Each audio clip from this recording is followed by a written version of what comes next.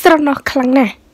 សំណក់ដែលជាសត្វចិញ្ចឹមរបស់ជនរងគ្រោះមិនព្រមចេញទៅណាចោលម្ចាស់វាឡើយប្រិមិត្តជាច្រើនប្រកាសជាបានទស្សនារួចមកហើយតាក់ទងនឹងคลิปវីដេអូដ៏គួរឲ្យរន្ធត់ជាទីបំផុតជាមួយនឹងករណីប្រពន្ធក្បត់ប្តីដោយលួចមានសហាយហើយបុរសជាប្តីត្រូវបានឃាតករជាប្រុសសហាយនោះចាក់សម្លាប់ដោយកូនកំបិតខណៈមុនពេលបាត់បង់ជីវិតជនរងគ្រោះបានព្យាយាមខំស្រែងឲ្យហៅឡានពេទ្យមកជួយខ្លួន។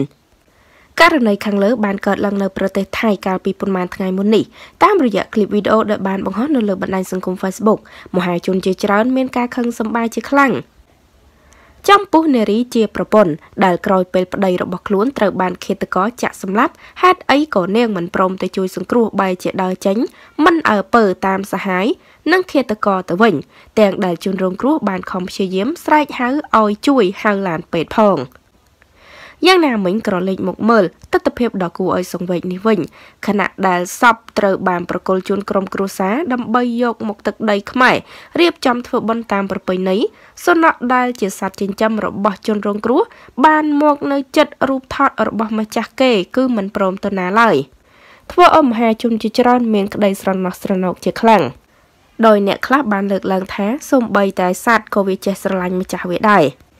ចុះហេតុអីមនុស្ស ខ្លួនជាប្រពន្ធមានសហាយហើយបើកដៃឲ្យគេសម្លាប់ប្តីខ្លួនឯងទៀតឃើញបែបនេះមហាជនជាច្រើនក៏នៅមានពាក្យលើកមុខជាច្រើនអាណិតហើយក៏សង្វេគចំពោះសំណក់នោះផងដែរ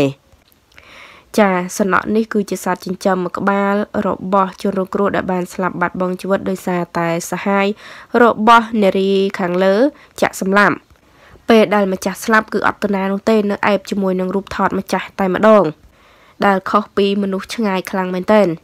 ឃើញហើយពិតជាសង្វេគខ្លាំងមែនទែនអរគុណច្រើនប្រិមត្តទាំងអស់គ្នាតេតងនឹងព័ត៌មាននេះដែរក៏សូមបញ្ចប់តែត្រឹមនេះសូមអរគុណសូមគោរពលា